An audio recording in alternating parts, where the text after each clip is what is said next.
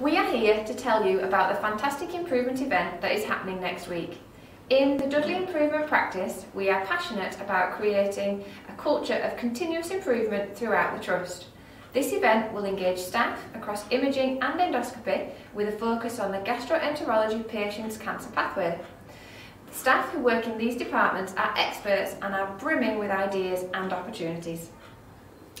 The event team, which includes nurses, admin and operational staff and doctors, will take a collaborative approach to problem solving and have the opportunity to put those ideas into practice.